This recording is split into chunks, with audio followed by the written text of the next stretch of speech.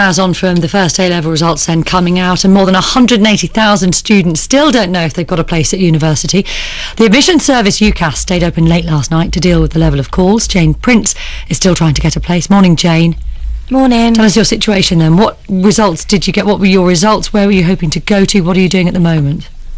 Um, well, I was hoping to get two Bs and an A um, and go to Birmingham, but I actually got two Cs and a D. Mm-hmm. Um, so basically, the situation is that I didn't get my place at Birmingham, and um, I'm not too keen on my second choices. Um, so at the moment, I'm weighing up what I'm going to do next. How did you spend your day yesterday? Were you on the phone for much of the day? Yeah, I did ring the um, clearing line, obviously, and see um, what the situation was with my place at Birmingham. Um, but unfortunately, I didn't get. I didn't get through.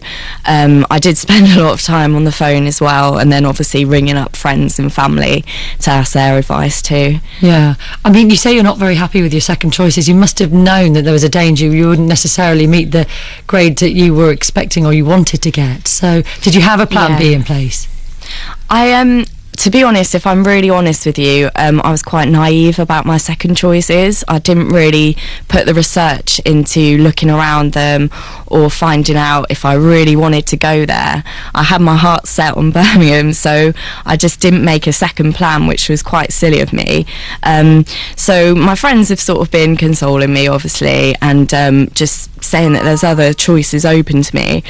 Um, so at the moment, I'm thinking of doing a gap year and actually um, getting maybe some work experience or doing some teaching um, English and f- as a foreign language, um, and perhaps getting more experience and reapplying next year.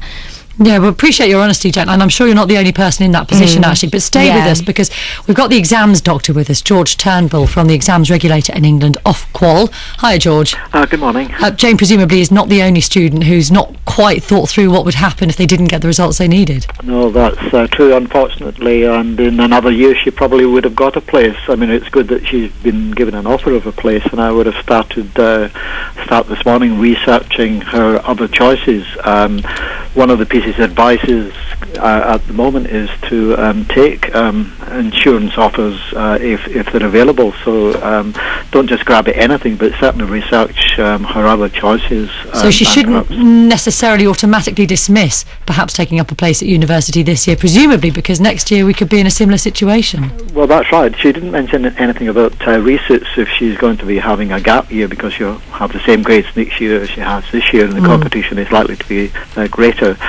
One of the downfalls with uh, resits, in a sense, is well, yes, you can improve your grades, but some universities in very competitive courses are now being able to look twice at people taking resits, and would prefer people to have uh, their A levels at the first go. That's only in very competitive courses.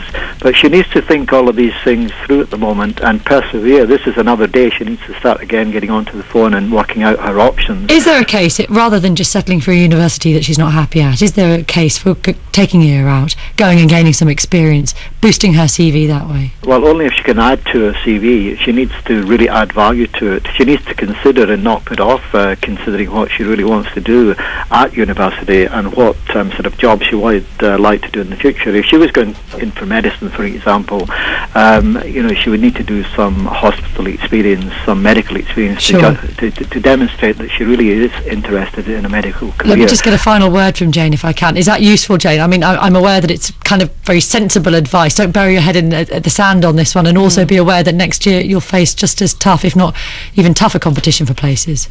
Yeah, I think I'm quite keen to sort of um, expand my CV and just make that look a little better. And um, a friend of mine put me onto um, a really useful website, which was uh, notgoingtouni.co.uk, and that's really helped me to look at work placements that I could do, perhaps in something related to English, like journalism or or um, teaching, for example. Yeah. Okay. Well, look. Best of luck with what you do. Thanks very much for talking to us, Jane very Prince, and many thanks also to George Turnbull from the exams regulator Ofqual. Sixteen minutes.